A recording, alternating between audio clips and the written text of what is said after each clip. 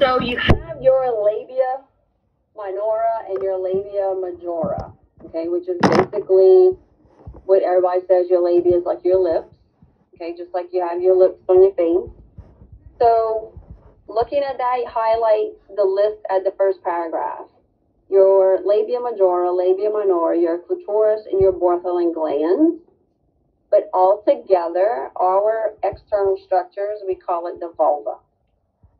Okay?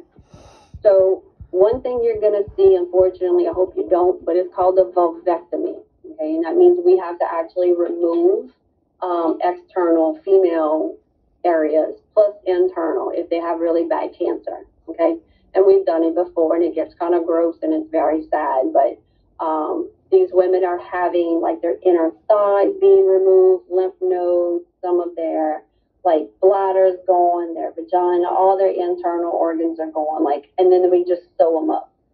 And they don't, they can't pee or poo out down there anymore, and they just have a bag, you know, and it's just that they choose to go this route, maybe to live a little longer, you know. I've only seen one in my life, and it was a lady who was in her 30s.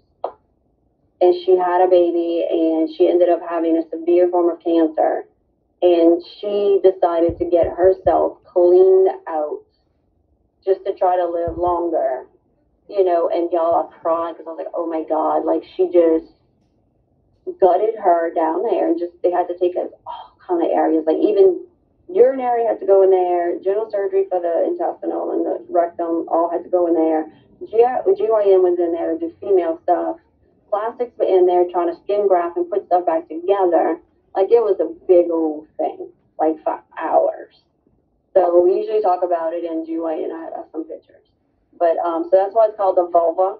But you will hear vulvectomy, but that's like everything all together. Okay, is it termed vulva? So the first thing they go over is going to be the labia majora. Um, that's your outer, larger area. Okay. Um, they have labium majus. It's all weird English Greek names on this PowerPoint right here. But that's going to be the outer part, okay? It says that's your adipose tissue. It's mostly smooth muscle, covered by hair. It has your sweat glands and sebaceous glands, okay? So that's the easiest part to identify, basically, okay? Um, it says the inner side is going to be smooth and hairless. The anterior ends of the labia majora come together to what's called the mons pubis, which is this top part that basically sits on top like your pubic bone. Okay, that's why it's called mons pubis. So it's right there on your pubic bone. Um, the posterior ends will taper and merge together just to form the perineal area. So that's why in med terms we have to separate the words peritoneum and perineum. Okay, there's a difference.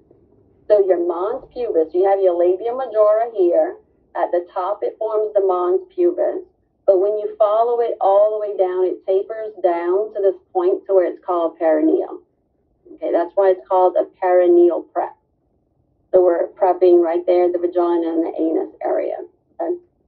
Um, so make sure you understand that mons pubis is like your labia majora. It goes to the mons pubis and it goes down to the perineum. Okay. The labia minora are situated just inside the labia majora. It says it's small longitudinal folds. They are composed of connective tissue, highly vascular, and they actually sit there and form where your clitoris is, or clitoris, whatever you want to call it. So when you're looking at the hairless ones on the inside right here, that's your labia minora, and then you have your clitoris right here which is basically equivalent to like the penis in a male. Okay. Goes on to talk about your clitoris a little more. Small region of highly sensitive tissue because it has all your nerve fibers right there. Same thing as like a penis situated at the anterior end of the vulva, um, at the ends of your labia minora. Plain and simple, that's it. Um, they have a paragraph about a ritual mutilation on here. Oh God, y'all Google that. We did one year. Y'all, it's sad. Like I had to go whenever I first hit. I'm like, oh, I've got to go and like Google this, and it's just a control like it's a control thing. They want to control these women, like the men want control, and like they will cut that clitoris out, you know, or some people go and sew up the vaginas of women and like only open them up when it, they want to impregnate them because it's like their woman. Like y'all, some rough rituals out there. Um, all right, so we're not doing the nerve supply. We go straight to Bartholin glands on page 392. Okay. No, I tried it. Don't let me. I'm looking. I don't think I can record it. The other kind of room, I could, but not this one. Um, Bartholin glands.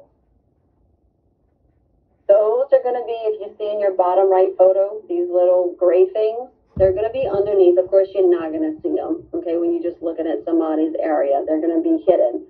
But they're called, they're in a, what's called a vestibule area, okay? So in this little whole area where you see it's in between your urethra and your vaginal opening, they call it a vestibule, okay? Um, it's just like an, a holding area. Remember when we did ENT, we did the ear, you had your, um, your little vestibule with your cochlea and all. It's just like a little middle area. That's what your vestibule is. That's where your Bartholin glands are going to sit in, okay? Um, you do have ducts, because it's a gland, just like your parotid gland, your salivary gland. The glands open into the vestibule, okay? That's why you do. You have secretions. Okay, your body is cleaning itself. So we always used to say, like, oh, your vagina area is like a self cleaning oven. You're supposed to have secretions like that. Okay, it's normal. Um, that's why some doctors will tell you they are anti like douching. They don't want you going and douching all the time because you're cleaning out, you're getting rid of things that your body is using to protect you. Okay, so I remember they used to always tell, you know, in surgery, we used to talk about it. I'm like, so I said, oh man, it makes me want to go home and douche. And Dr. Neo used to be like, I'm telling you, if you're going to do that, do it like once every so many months. He's like, don't douche. He said, I have a lot of patients that come in and just douche, but they get more infections because they're not clean. Like they're killing everything that's in there. So, right. So you want to keep the good bacteria. And that's why he's he's doing it. He's like, it's a self cleaning oven. Let it do its job. you know. Um, so the Bartholin glands they can get blocked. Okay. So what they what happens is you get a Bartholin cyst, and it's called the marsupialization of a Bartholin cyst. Um, different types of reasons are going to have this cyst form, whether it's a blockage in the duct, um, you know, overproduction or something like that, or injury. Okay. How many of us, when we were little, would ride our bikes and we'd jump down and hit bar and we'd hit between our legs and we'd cry, was burning, and you know, sometimes that's what causes it. We had little kids come in before because they have a Bartholin gland that's just blocked, and we have to go in and open it up and drain it, okay, until it heals. Um, so the the treatment of the Bartholin gland is called marsupialization, okay, and it talks about um, they're making a closed cavity into an open cavity. So basically, we're going to cut where that gland is, and we're going to open up the gland and sew the outer edges to the skin, and just kind of let it heal from the inside out. Okay, so that way we don't want to close it up and it keep all the bad infection in. So they just kind of split it open, tack it, let it heal, go back, and then they can release it, and then we'll sew it up once the infection's gone and everything's clean. Okay. Mm-hmm. Yeah, it'll go back. It'll go back. Yes. Yes.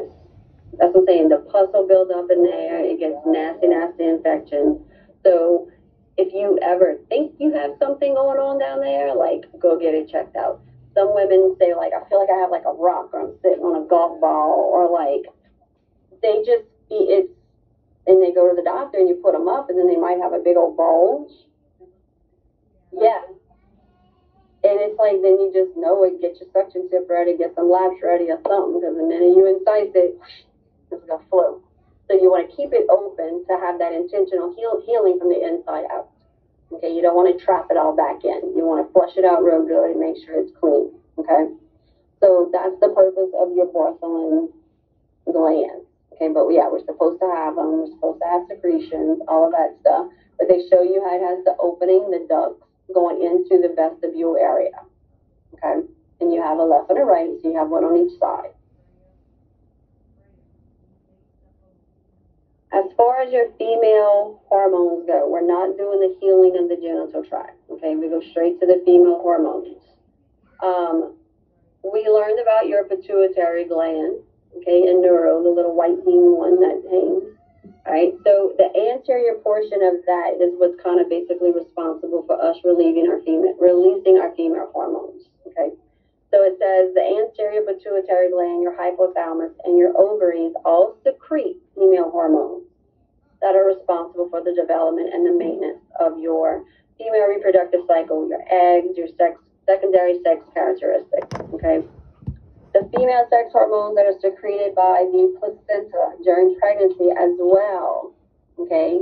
They come from your ovaries and your adrenal gland. Cortices are called estrogen and progesterone, which I'm sure you've heard.